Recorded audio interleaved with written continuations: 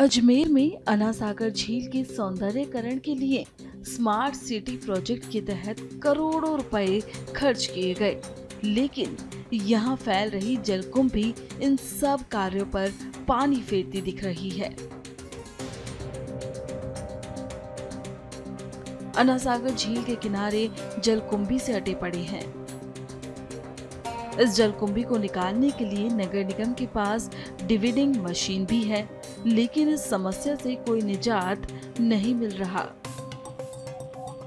वहीं इसके कारण आनासागर के जलीय जीवों का भी जीना दुश्वार हो रहा है। इस परेशानी का प्रशासन स्थायी हल नहीं ढूंढ पाया है।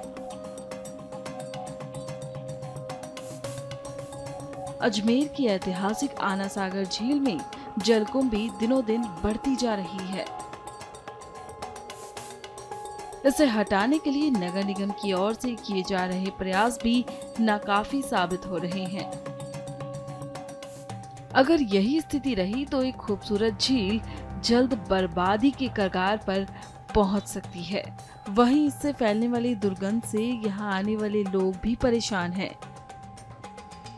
इस परेशानी का प्रशासन अब तक स्थायी हल नहीं ढूंढ पाया है। आनासागर की ऐतिहासिक हमारे आनासागर झील है। मतलब ये कोई आईपीएल का मैदान या ऐसा कुछ नहीं है स्मार्ट सिटी का गार्डन बनाया हुआ नहीं है। ये आनासागर जो अपने दुर्दशा पर आँसू रहा है, वो गंदगी का नतीजा है। जलकुंभी ऐसा नहीं है क्योंकि एक दो महीने में बढ़ी है मतलब कई साल हो गए जलकुंभी को लेकर हमारे प्रशासन द्वारा कई बार इसको साफ़ की गई है।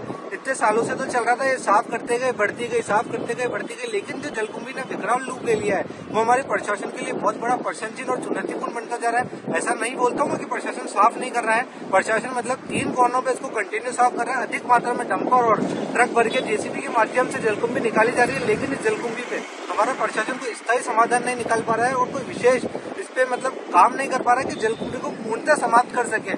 अब हमें तो ये ऐसा लग रहा है कि कोई ना कोई इसको कमाई का साधन या आय का स्रोत बना चुके हैं कि ये साफ़ करते हैं, दो दिन बाद वापस बढ़ जाती है। और जो जलकुंभी अभी आप देख रहे हैं, महीने, दो महीने से पूरे अन्ना सागर को अपने आगोश में ले चुकी है। तो हमारे प्रशासन मतलब इसके लिए कोई ना कोई स्थायी समाधान निकालना चाहिए, क्योंकि इसके अंदर जो जलीय जीव मछली है, उनको ऑक्सीजन लेने में प्रॉब्लम हो रही है। उनको ढंग से यहाँ पे जो पर्यटक आते हैं, हमारे क्षेत्रवासी घूमने आते हैं, उनको यदि हम दाना पानी डालते हैं तो मछली ऊपर नहीं आ पा रही है। उस कारण उनकी मृत्यु होने का दौर चालू हो चुका है। यहाँ पे साइब्रियन पक्षी जो सर्दी में आते हैं वो इसके यार बिल्कुल नहीं थे।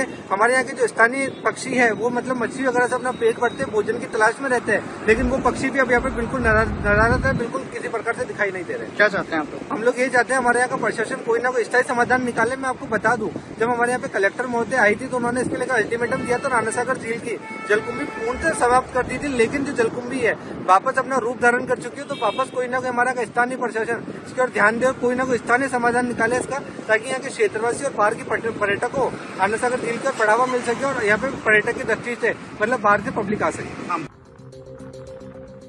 शहरों के बीचों बीच बने आना सागर के चारों तरफ़ चौपाटी बनाई गई है, ताकि लोग आना सागर के प्राकृतिक सौंदर्य का आनंद ले सकें। लेकिन इसे दुर्भाग्यपूर्ण ही कहा जाएगा कि आना सागर जलकुंभी की चपेट में आ रहा है। आना सागर के किनारे कई किलोमीटर क्षेत्र में जलकुंभी का जमाव हो गया है।